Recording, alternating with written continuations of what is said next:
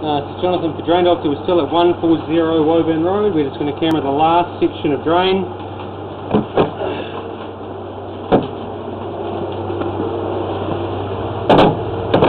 So going from, one moment,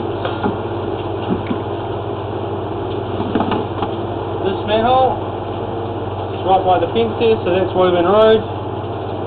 We're through here and down.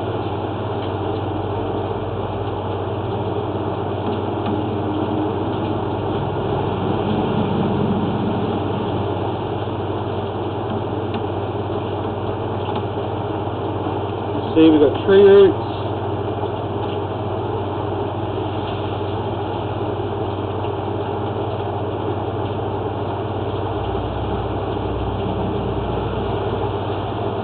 So there's another manhole directly outside. So four and a half metres.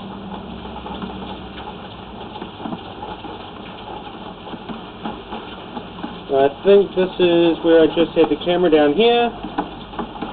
So now we're going to push out as far as we can. We got 15 metres into this last time. We'll see how far we can get this time. See if we can make it out to the main, which I believe is on the street. So this is where we got to in the previous recording. See if our camera will go a bit further this time. I don't think we're going to have any problems this far out, but we'll just see. If we can get to the council main.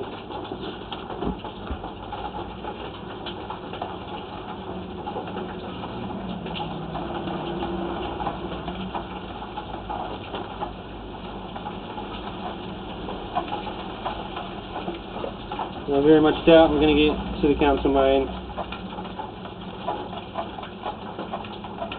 No, that's it. Um, so we're 16 metres out. There's another manhole on the footpath, presumably. Um, this drain is all 150mm PVC. Looks pretty good. There are some tree roots in the other manhole, which is probably caused by the enormous Pohutukawa tree right next to it. Um, I'll stop recording here and we'll get the footage through to Tamati.